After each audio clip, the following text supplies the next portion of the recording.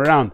And it's an interesting interview because I think for most of us who kind of grew up during this era, especially um, when Hood was kind of a thing in fashion and they were doing their amazing fashion shows that they were basically taking on tour, which I don't think anyone's done. Which again, which I don't think anyone has done going forward. I don't think anyone has kind of done that same sort of thing where you take your your fashion collection and you essentially show it at all the main fashion weeks around the world, whether it's Milan, Paris, London, New York. And they were the first to kind of do that. You know, they did collaborations with Selfridges in a parking lot. I remember going to that back in the day with all the skaters. Like they did some really cool and amazing things. Um, and again, just a really impactful and cool, interesting kind of dudes, right? And they have this really, really great interview where they kind of speak about their origin story. I think I've got it up here on the screen, right? Talking about origin story with Kerwin Frost, but this one little bit really, really um, hit home to me that I kind of want to highlight to you guys here. I think it's Twitter. What minute is this? I think it might be 23 80. See if I can get up on here. Da, da, da, da, da. So I can get up. Is that what? Is that what it's meant to be? Okay, cool. Let's play this. So I mean, there are people that are, I think they're really intelligent people that are like uh Playing dumb. good. Yeah, They're and, playing dumb. yeah, and doing good jobs at like at least leading people in positive direction Yeah.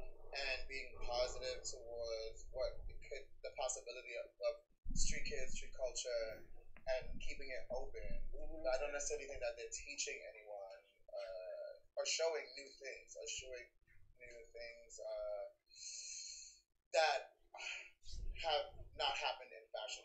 Yeah. Right now it's kind of on like Groundhog. It's like everyone is ignorant. Yeah. they Yeah. Yeah, Groundhog exactly. Day. Yeah, exactly. That's crazy. Yeah. It's Tomorrow will be the same, and it'll be the same again. And then you look at your category, it's like, like, am I going crazy? Like, am I like? And, and you start thinking about yourself. Great retweets. There, yeah. Because you start thinking that, and, and you're just like, wait, like, did I miss something? Which I kind of agree with, and it's something that's it's, it's a really um they're talking about you know there is no kind of real innovation or people really pushing the envelope as much as it probably should be in fashion, which kind of I think speaks to kind of the collective malaise going on in the industry now, which I don't really think is a bad thing. I think essentially what happened was that fashion essentially pierced through to the mainstream. It became it became a thing that everyone was sort of interested in or kind of got interest with. I kind of parlay it to the rise of sneakers, the, the rise of sneaker culture, to the rise of streetwear, to the rise of music, to the rise of culture in general, right? To even to the rise of festivals. Um, it's not that uncommon to hear of a kid going out to, you know, I don't know, the middle of the country to go to a festival to go see a particular electronic artist that they've just been put on to by because they, did a collaboration with a streetwear brand they like, right? And festivals have now, you know, they're they're ten a penny, they're all over the place. Brands are all over the place, fashion's all over the place.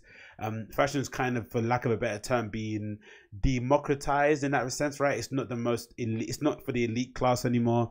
Luxury for some people, like Eugene Rabkin, has been kind of reduced to kind of really luxurious, kind of quote unquote hoodies and jeans and trainers, which you know people like Eugene Rabkin and all those kind of you know elite snobby kind of dudes are not really a fan of because they come from the the era of the avant-garde, right, where people were pushing things forward, the things were not readily available, it was a hat where you had to kind of really earn your stripes to kind of have the ability even to kind of buy the items. There was a real high bar of entry. Now the bar's gonna be lowered somewhat for entry and also for creation. So I think if you're a really talented designer or if you're a really talented musician, it kind of behooves you if you want to get your music out there and get spread to the most people. I think there is a small number of contingent of artists out there who are still doing things the right way and doing the things about the music and really trying to make something that really kind tested that lasts that test the that lasts the test of time.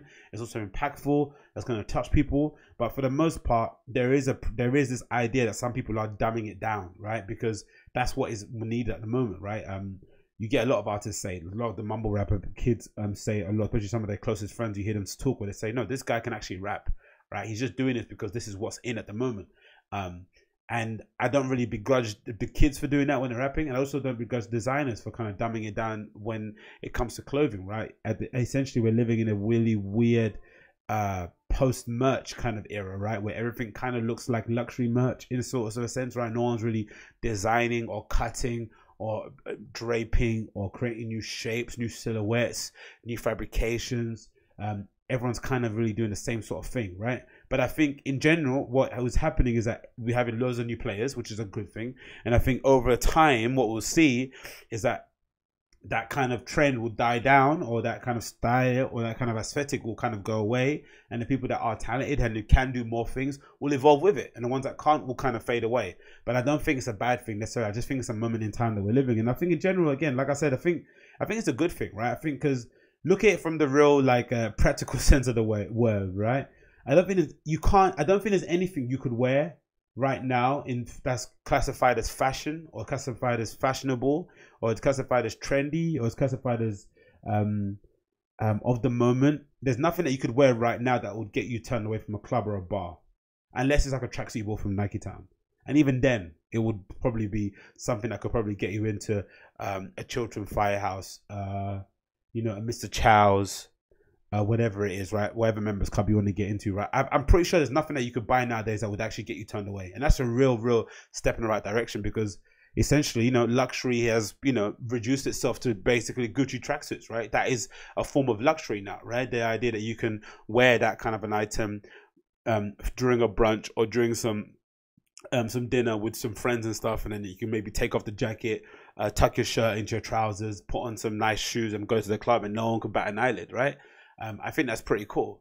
Um, again, it might change, it might evolve, but I think that what it does is that it invites a lot of new players into the game, and over I think over time, once that kind of thing evolves and people's taste um, level it gets a little bit more refined, and you maybe as a designer get a little bit bored of doing that same old thing, you then make a change, and it kind of goes forward from that. But I don't think it's necessarily a bad thing. I, I, it's like I thought we were getting somewhere, and then all of a sudden you're like back five years again. Yeah. Okay, wait, what just happened? But also understand for them to like again, I think for an Ian and uh, Shayne, I think it's different because they were they're the they're the rare breed of designers. They were the four the four bet the the the forerunners, right? They were the ones that are like holding the torch and leading us through that dark cave and telling us, trust me, let's go towards the end, let's go to let's go towards the end. And I think for somebody that's kind of you know the the innovators, the ones that are kind of pushing the boundaries and breaking through, it must be a little bit disconcerting to see like you know the things that you were referencing 10 years ago are just now being introduced into the zeitgeist five years ago or have just come kind of, kind of come back in again.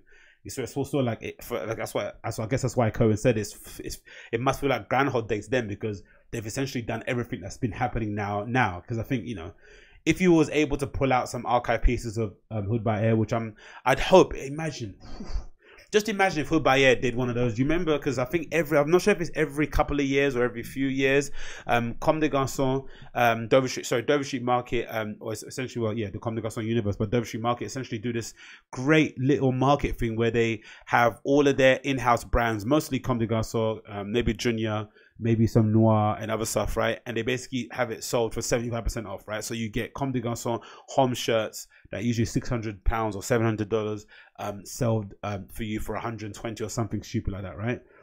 Imagine if Hood by Air did the same thing, were able to sell some of their archive pieces, some of the pieces that didn't maybe make it to market, or some of the sample pieces of some of the stuff that fit models were wearing. Imagine if you was able to buy some of that stuff and wear it now. People would think it's like a cool new brand that just entered into the market. It wouldn't look it wouldn't look out of date at all. Same with you know if you bought vintage Helmut Lang, vintage um, Raf, some piece of Mugler. Um, all the iconic designers out there who people are kind of referencing nowadays, number nine, there's stuff that kind of looks of the time now. Why is it? It's because what's currently going on is what they are referencing 10, 12, 20 years ago, which is fucking scary, really, and shows you just how far ahead those guys were. But you know, because there's a lot of shit. There's a lot of shit, yeah. And everything has to be smooth. And validation. There's a lot of validation happening right now. Some people are just like allowing. And they want validation first. First, yeah. Before so I that they can get started on the work. Exactly. and I'm like, wait, you want to be certified first. And that's something um that's that's something I've kind of battled with I think over the time. I think it might have been and it's not it's not a bad it's not something to say bad about um, him in general, but I think it might be something about um it might have been a process of trying to this just being desperate to get put on because I remember this kind of language being spoken about quite often during the whole Kanye and Virgil upstart. When when Kanye was starting making clothes, his collaboration with APC, and Virgil was starting to get going with Pyrex and stuff. I do remember the phrase of like learning out loud in public, right, in real time. being used quite often. And I think for someone like a Virgil or someone like a Kanye, they probably did seem like there was a time limit. They had to kind of make it in a really short period of time. They did they couldn't waste their window of kind of um, impact because they were kind of red hot during that time, but they're still red hot now. But they had such a hold on culture, such a hold on what was going on that they had to strike while the iron is hot. So they had to just really ideate. They kind of have to ideate, yeah, ideate, right? Make loads of iterations and really put out every single concept they're doing, every idea they're doing, and just fucking throw it out there on the internet. And at that time too, if you remember a few years ago, Instagram was a real kind of machine gun approach of of getting out content. Nowadays, people are a little bit more um deliberate with how they put out things and what they're talking about and who gets to see what and what they're actually showing out in public. But in the beginning stages, if you remember, into kind of similar to the waves that we're kind of seeing on Twitter, right? Where Twitter back in the day was a bit more wild and a little bit more uh, um, gung ho. You could just kind of fire from the hip. Now people are a little bit more conscious of it. Don't want to get cancelled. Same sort of thing happened with Instagram. You just kind of throw everything out there. But I think not to it's not a bad thing because I think in general I think if you're like a Virgil or a Kanye, you just wanted to get out there. You wanted to be you wanted to kind of put your flag in the ground and say, look, I'm a designer, here's what I can make, and really kind of stake your ground. And in general, I, I would imagine most of the opportunities that those guys got came some way, came by some way, um, came some way through that kind of, you know, sticking stuff up on Instagram where people kind of reach out to you and say, oh my God, wow, I saw that hoodie you made, or wow, I saw that collaboration, or wow, I saw this server, and they want to kind of work with you. So I think it kind of was a means to an end in general.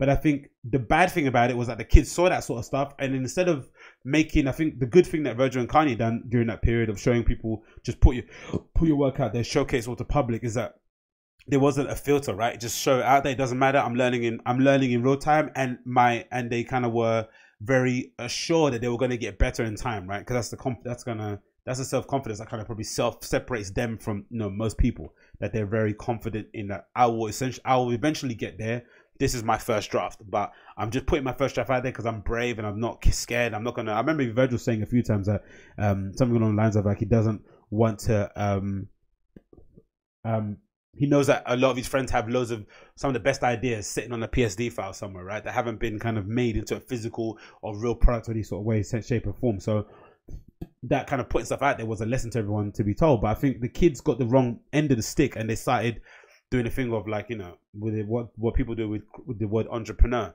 They started putting that in their bio um, as a form of validation, as what Ian's saying, instead of doing the work first. So they want to get the recognition from the name or from the label or from just maybe putting out one flyer instead of actually doing the work, which is which, which is actually making sure people are coming to your event, right? Creating a little community, creating a network, um, having some importance or relevancy within your immediate area, within your collective friendship group, and then from there working it backwards and then showing the internet the stuff that you're doing, but not going from the end of like I'm an entrepreneur, but you have no business to show for it. You're not making any money. You're working a nine to five. I mean, it doesn't make any sense, right? Um, and that's kind of the part I don't really like. But I guess in general, that's probably the the one of the crux of the internet or social media that we kind of have to break right? Because essentially that's what social media is, right? People just want to be recognition. Like, you know, that's why people go to festivals and just stick their phone up at people while whilst they're playing, right? Instead of just actually enjoying the event. Um, they want everyone to know that they're there as opposed to enjoying the time that they're actually there. So I think, again, over time, I'm optimistic that the kids will see that social media is a great, and I think social media is like, um, is a is a great tool, but it's also another world. It's not necessarily the real world. It doesn't necessarily correlate that because you get all your work out on social media. That essentially is going to correlate into you collaborating with IKEA or making a collaboration with Coca Cola. It doesn't really work that way, right? So the timings aren't the same. Right? Just because you can get something up on social media doesn't mean it's essentially going to materialize into a project or a collaboration.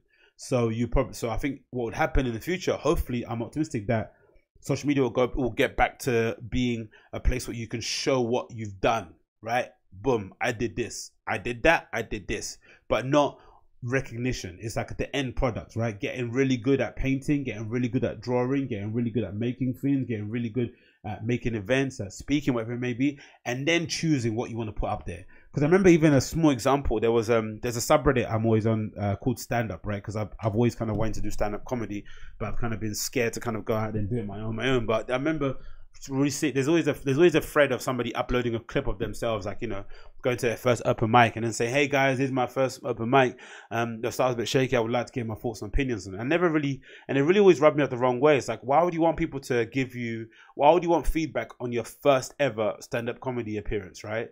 Um, on stage because you know by and large unless you're like one of the rare you know one in 10 talents out there you know it's going to be shit right even if even, even a 10 year old messi if a 10 year old messi was able to post somewhere in a forum and say hey guys i want to make a professional footballer what do you guys think?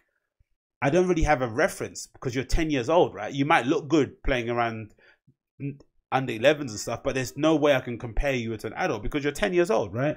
Same way with stand-up comedy. Like there's no there's, no point of you showing me a video of you going on stage for the first time because what advice can I give you apart from just keep going with it, right? Or um, but then imagine the worst part of it. Imagine if you're really terrible that first time, um, and I tell you you're terrible. Then what? Does your dream get crushed? Do you completely stop again? Like that's not the right way to kind of go about and use those kind of feedbacks. And I always thought it was really strange people would do that, but again, it goes back to recognition thing, right?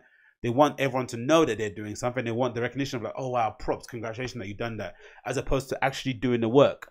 Which then goes back again to another um, anecdote of um, remember I think I said a few times about the people that go and sign up to half marathons or really popular races like London Marathon, which I never fucking get into. Actually, I got signed up to it. I remember. Shit, forgot.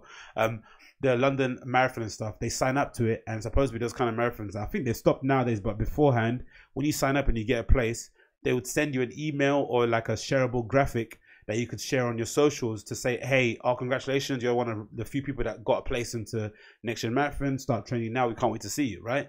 But what eh, what happened without them realizing was that that graphic became a validation. That graphic became the medal. That that was that that's like you already won the race. So they'd share that on social. They'd get all the endorphin hits, all the kind of you know clicks and likes that make them feel amazing and happy about themselves. And then they just wouldn't train and they wouldn't turn up. And then you've got some of the biggest races in the world, uh, which are you know some of the biggest sponsors. They've got all the media coverage, right? Whatever you want, so in some of the most beautiful locations in the world um, have now got you know half of the attendees or a quarter of the attendees not turning up on race day because they feel like they've already done it because they've got the shareable graphic. And again, that goes back to recognition instead of doing the work. Let's continue again. Before you start, like, before you take two hundred dollars and go get an LLC, you want to be Yeah. certified on Instagram first. So, So like, crazy. you want like some sort of validation, or you want some sort of title or name, Yeah. and that's we we in history know that sucks. You know, Yeah, artists for can't sit in front of a thing and write. Basquiat didn't write the title of like his work This before he started right, doing yeah, it. It was yeah, like you can't title it first, you fuck it up. You can have a goal. You can have a dream with the title. You can have a mood board. You can look at this word that you want to be. You want to be a millionaire? Sure. Look at it, micromanage yourself, and look at it and do that. Right. But you're not gonna put that title on yourself until you have it.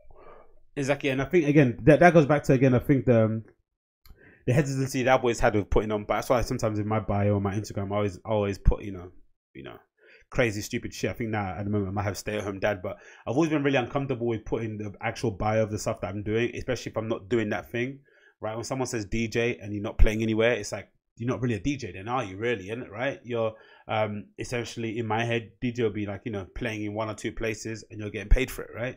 Um, just little kind of like things that will kind of classify you as like entrepreneur. Okay, cool. Are you running a business? Is that business um, able to generate a certain amount of income? Is it allowing you to not work? Cool. Entrepreneur then. Business owner. Is that cool? Is that true? Small business owner. Yeah. Have you got many small businesses or whatever Maybe? Artists. Are you making artwork that's being shown regularly in galleries? Do you have exhibitions every single year? Whatever. There's certain things that you kind of have to do criteria wise that will kind of give you the name. But again, I think it's maybe important to kind of like Ian saying, start off with the work first and then look for the titles later. Look for the titles that fit you after because you have to also imagine if you end up becoming successful, you end up becoming well known.